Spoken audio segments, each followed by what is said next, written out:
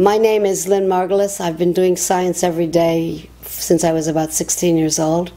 I teach at the University of Massachusetts. I have a PhD in genetics, but I really do much more geological things these days. In 1999, I was a recipient, one of several, of the President's Medal of Science from um, Clinton, William Clinton, and two days ago, I received the Da Vinci Award, that is the membership in the Da Vinci Society, and quoting them, the society is the, for, for the study of thinking is proud, proud to announce that they're giving me this award, and it is to the goal of the society is to develop a world class thinking curriculum and to promote excellence in thinking by developing an honor society for the world's greatest living thinkers. That's somewhat of an exaggeration, but they gave me that medal.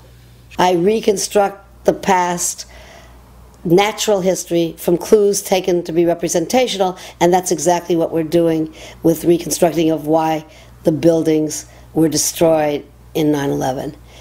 Taking clues that you think are representational. That's in, in, in historical science, that's what must be done. The thing that's most important about science is that it's a way of knowing. And it's a way of knowing that anyone can participate in. Of course, they have to have some background and they always develop more. But it's a way of knowing about anything.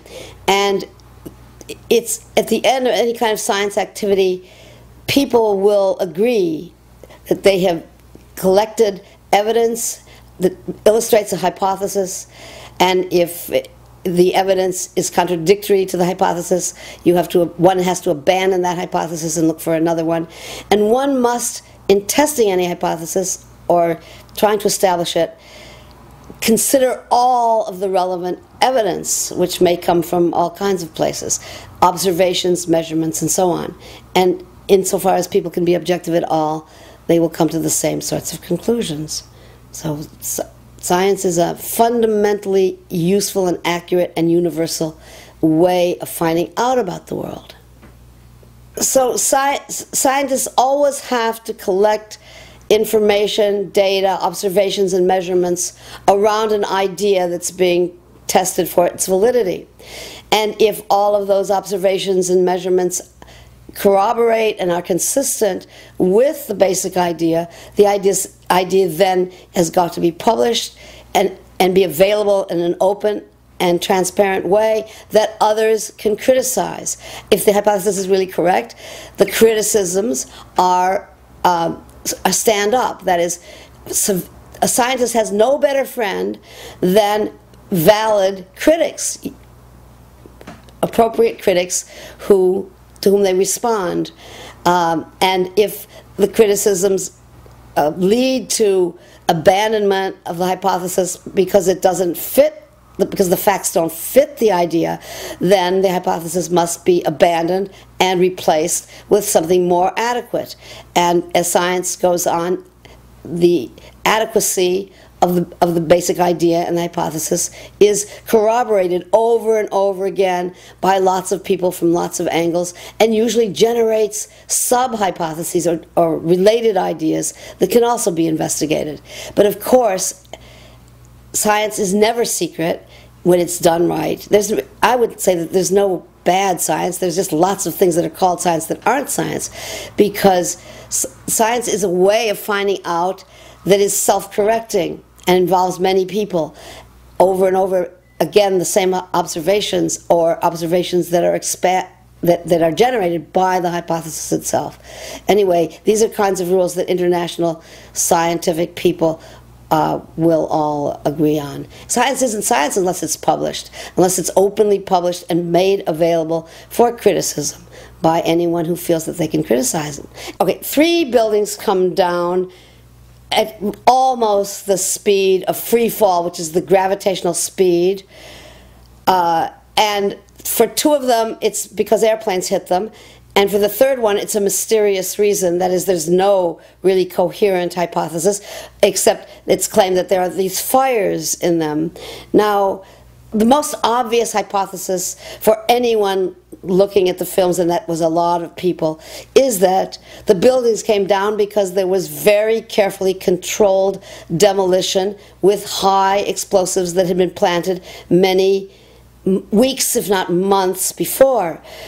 The first thing they do is ignore, in all cases, the most obvious and reasonable hypothesis that is consistent with all other destructions in a very short time of buildings. And what is worse is that all of the evidence was removed. You can't do science without evidence. Unfortunately, there was a lot of evidence about the pieces that the uh, the columns were broken into, the nature of the, the uniform nature of the dust. But very quickly, the if this is a crime, I think everybody agrees it's a crime, evidence was removed from the scene of the crime. Well, if evidence is removed, no scientist can possibly reconstruct what happened. You can't do science when you are deprived of the evidence and when your hypothesis is the least valid instead of the most likely. When the most likely hypothesis in, in the case of Building 7 wasn't even mentioned. Uh, this is not science. So the claim is that it's something else. It's precon- trying to prove preconceived ideas, not having data that they can fit use to make a model, but to pr- prove a model that was unprecedented in the history of buildings collapsing.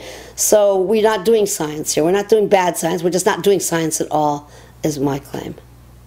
So what to me is most impressive, since I do microscopic work all the time, are the many, many microscopic samples that show these extremely, totally unique red gray crystals, red and gray in the same crystal, and it was found in all uh, the dust samples. So the preconceived notion of NIST is that there's no evidence for explosives, and so there's no point in looking.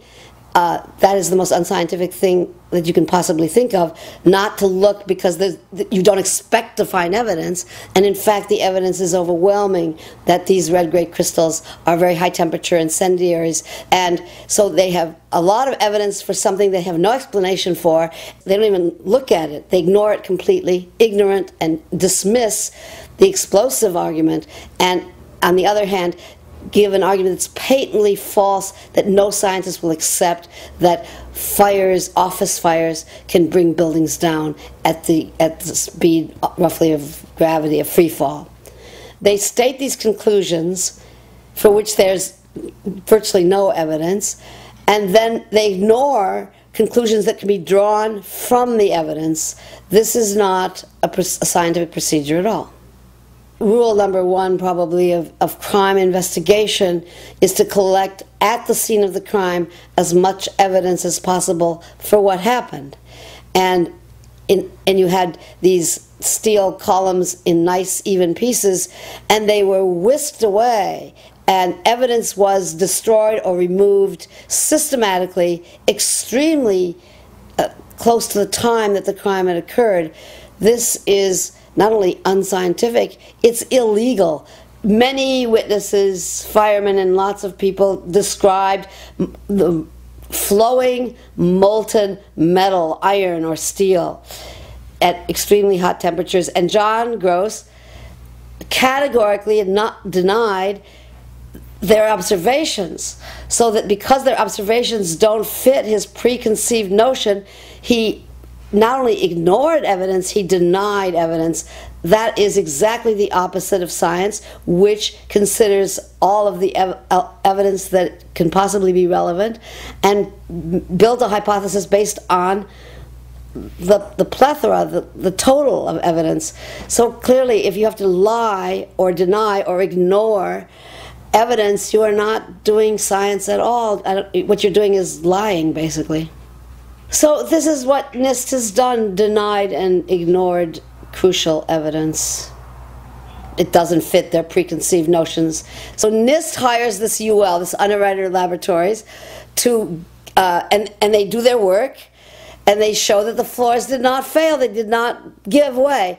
And then NIST doesn't like that result because it doesn't fit into their computer model, so they ignore the real result and they uh, misrepresent some and and pr- provide evidence from authority that uh, the commu- computer model is right. Well, people do this every day, and they call it science. And the people who do it call themselves scientists. I claim they're not doing science at all. They're doing propaganda or or publicity or whatever they're doing, but it's not science.